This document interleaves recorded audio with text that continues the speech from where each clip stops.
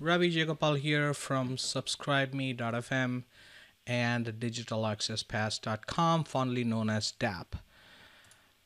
Coming to you from sunny San Diego. So, today, the topic of my video is how to screw your customers and how not to, and six reasons why you should not.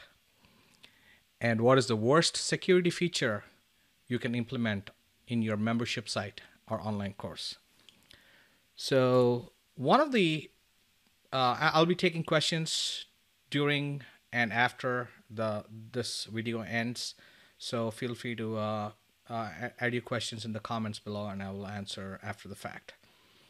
So one of the most most if I had to pick one question that I have gotten the most personally as well as in our business at digitalaccesspass.com uh, in my uh, through people sending questions uh, when, after they listening listen to my podcast at subscribeme.fm across the table end to end all platforms considered the one question single most question the most uh, asked question has been how do i prevent my members from downloading content now, I understand where this mindset of scarcity comes from because you're creating content. I understand, right? You, uh, you're creating intellectual property. You have put in your 100 hours or 1,000 hours or 10,000 hours, and you're putting in great, uh, you have put in a lot of work, hard work.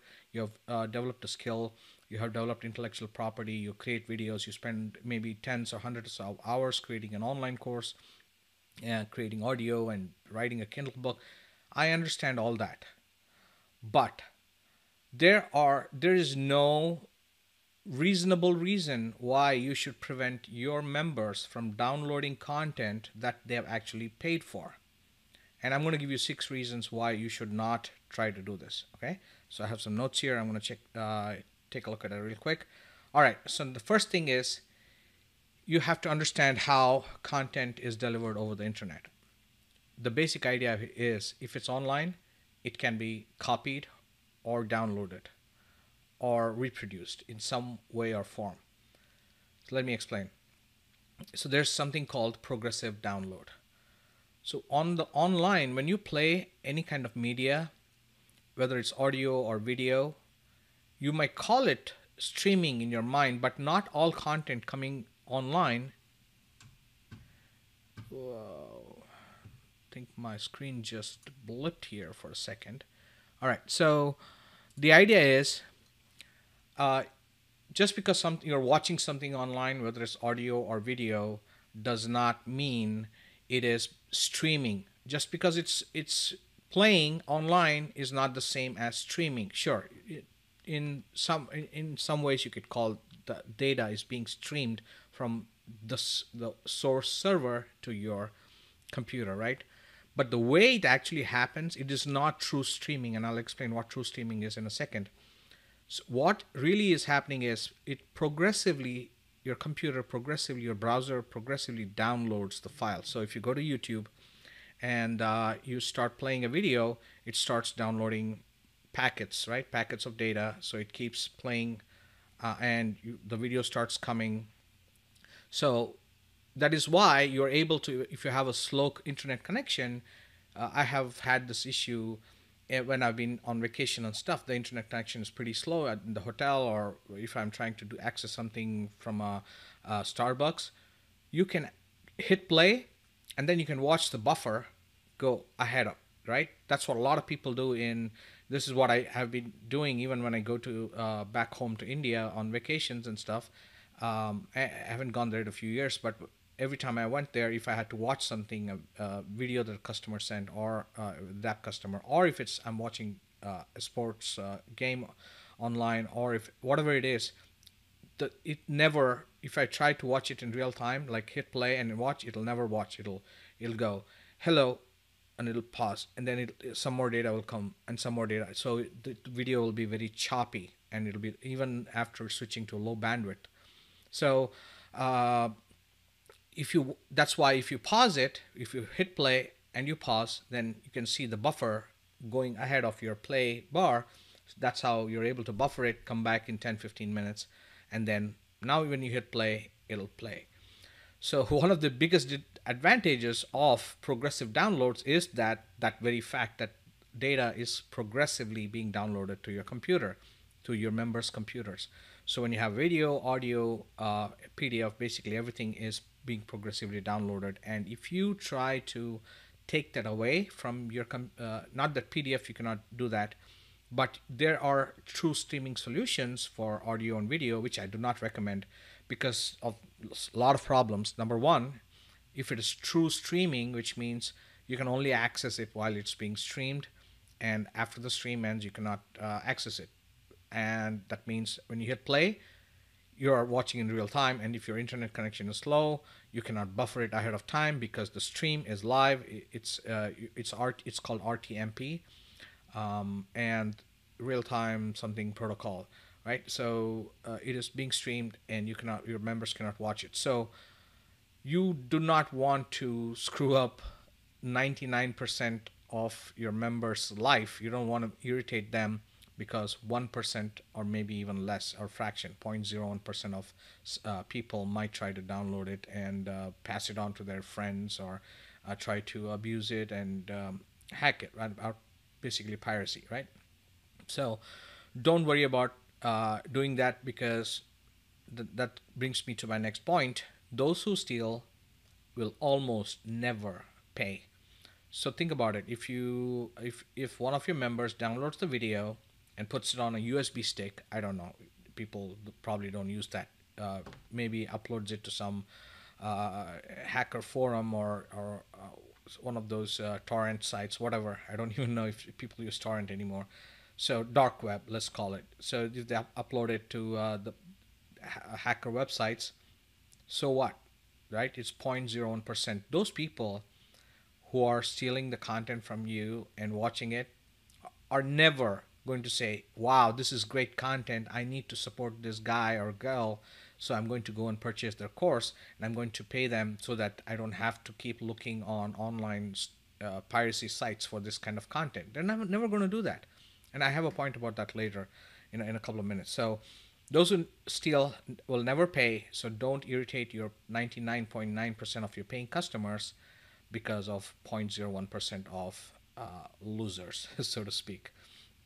And then uh, on the next point, number three, the best websites and online courses and membership sites are those that allow their users to not only download the content that they have paid for, but also allow them to consume it in different formats. So uh, if it's video, uh, they'll take out the audio and uh, make it available as an audio file and if it is then so there'll be a video for people who, who are visual learners. Then there's plain audio. You can even release it as a premium podcast because it's kind of defeats the purpose to sit in front of a screen and click on audio and listen to it without having any visuals. You might as well take it uh, offline as a podcast. So if you go to premium podcasting premiumpodcasting.com i show you how to that's a course uh, that uh, that shows you how to create a premium podcast which is not available in apple or itunes and stitcher and etc no, no public directories. It's a private podcast. So you can use something like coolcastplayer.com to put a player on in the members area so that your members can watch the video. There's a player right there for the audio file they click play. And then you can take out the transcript and put it as a, as a text file PDF download if they want to download it to their Kindle book, uh, Kindle device or something and take it offline. Or you can also have a link to the article right there so that they can actually read it right there on, on your website. So four different formats at the very least. And uh, even if you are going to take it and put it as a Kindle book in, in some uh, in, in some way, you can actually, along with uh, delivering it as a PDF, you can also deliver it as an EPUB uh, which also works with Kindle devices, right? So it can uh, they can use their Kindle reader to read uh, the, the EPUBs.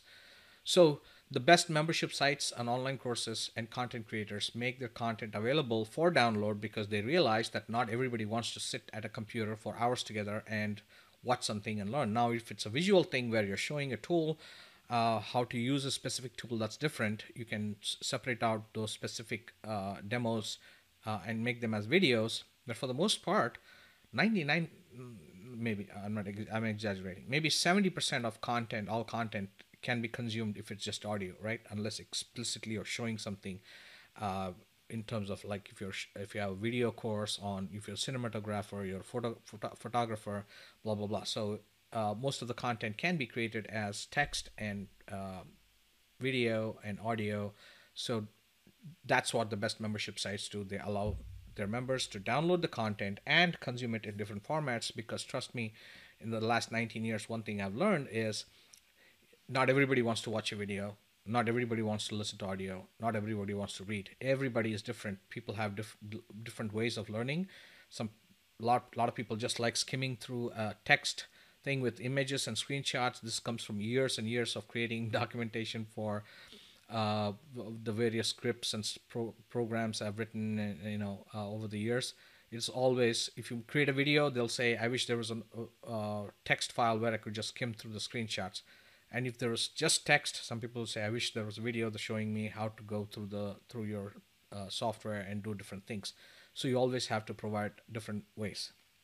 Number four, even Amazon and Netflix allow downloading of their content why aren't you? What, what's the problem, right? So with Amazon, if you buy a Prime movie, you can download it and uh, watch it for I think 48 hours. Uh, they allow you to download it and watch it.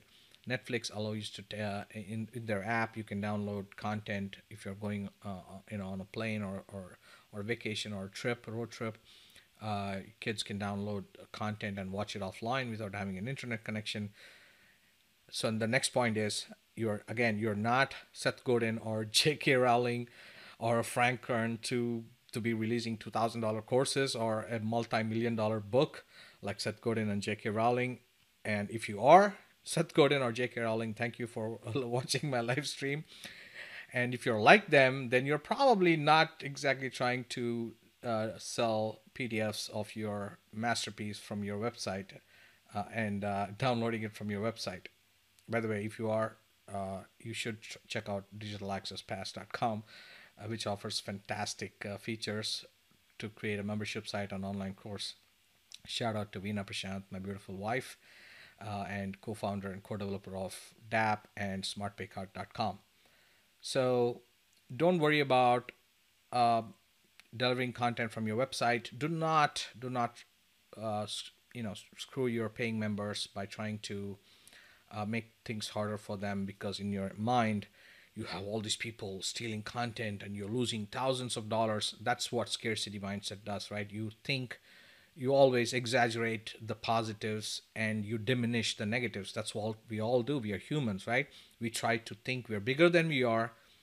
Uh, whether it's it's it works in both positive way and, and negative way. People will always think their problems are bigger than they are or they think their skills and their personal traits and their confidence is so much that they think they are better than they are and their content is better than bigger than they are. And they they go into this mindset of oh my god if i if i don't take away uh, the ability to download stuff everybody's going to download it. They're going to upload it to all these hacker sites and then i'm never going to get paid again and i'm going to get screwed.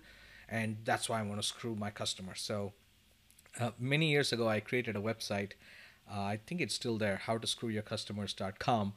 this was one of the very first site before DAP was even launched. That was like, uh, I tried to create like a viral video um, where I wanted to, to go viral, people passing it either it's just a video of trying to show how, you know, the, the average membership site tries to deliver content and how the new software coming out, uh, I don't think there's even a mention of DAP at that point, uh, is going to change all that with dripping. With DAP, by the way, was the very first software ever to include content dripping. So just so you know. And then finally, the last point I want to make is it's not a bad thing. A lot of people give away free content and hope and pray that people will pass it around, right? So in this day and age, it's not a bad thing because it's not, not everybody is going to do it. And way back when, when we launched first launched DAP, we did not have any kind of licensing security features, right? So a couple of years down the line, uh, we found out that DAP, the, the zip file is being passed around like crazy on a couple of black hat sites. And at first, it was like we were really devastated, but uh, then we realized that those guys are not going to pay anyway. It's not a big deal because there's also support involved, so they have to come back to us. And um, there's only so much you can do if you're just stealing software all the time because it it get it can get uh, because every time there's a new release or a bug release, now you're depending on somebody else to upload the latest site to your Black Hat site. So we didn't get too scared, and instead, what we did, we quietly introduced over the next six months or one year, we let it lie, and then we introduced a licensing system, which we not only checked what is the version, current version being available, but also checked that whether this domain had access to it and the access to not just the version but uh, also whether DAP itself but also the version. So that one of that was one of the biggest months we had at that point because as soon as we uh, implemented licensing, and a whole bunch of people did not know that uh, on these black hat sites they installed it. Now they're the dap uh, admin locked up, and if the the tables had already been upgraded, so if they tried to upload older version, you got a lot of errors because now the new data the database is new but the, the but the php scripts are old.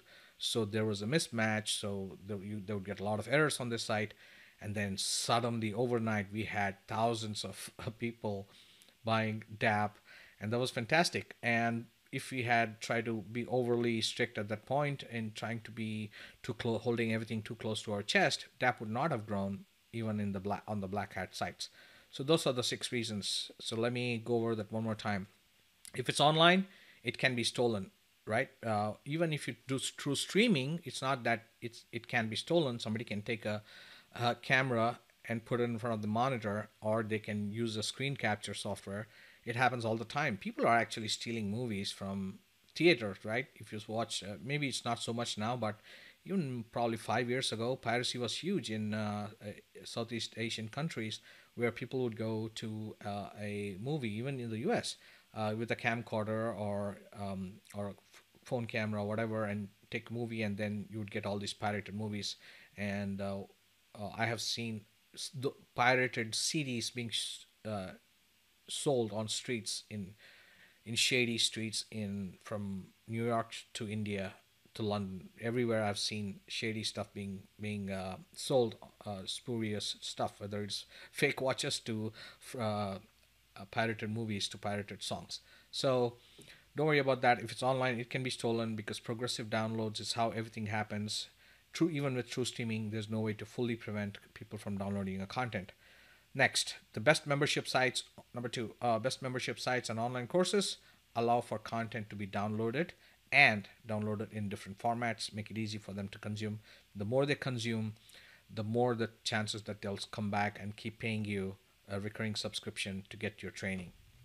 Number three, even Amazon and Netflix allow downloading, so there's no reason for you not to. If Hollywood and the music industry allow for downloading, then you absolutely have no excuse to be a bigger Grinch than Hollywood and the music industry.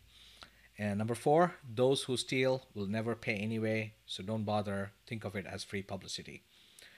Number five, you're not Seth Godin. You're not J.K. Rowling. Honestly, I'm just not an insult. No, I am. Neither am I. Most most people, if you're watching this video, uh, you're not uh, you know some super duper duper duper duper multi billionaire trying to figure out how to protect your content, right? You're probably not. That's not your problem. So at uh, our level, right? Uh, I'm not going to I'm not trying to say that uh, your content is not important that you're you're not big shot I'm not trying to uh, put down your the value of of your skills your ability to create content I'm not doing that I'm not disparaging that. I'm just telling you don't go crazy thinking my content is so important. Don't get bigger than yourself uh, and think that your content is so important that you'd rather shut down access and make it super hard on your customers rather than uh, you know allow people your paying customers to pay and then which in turn makes them happy customers and they become affiliates and they promote your stuff.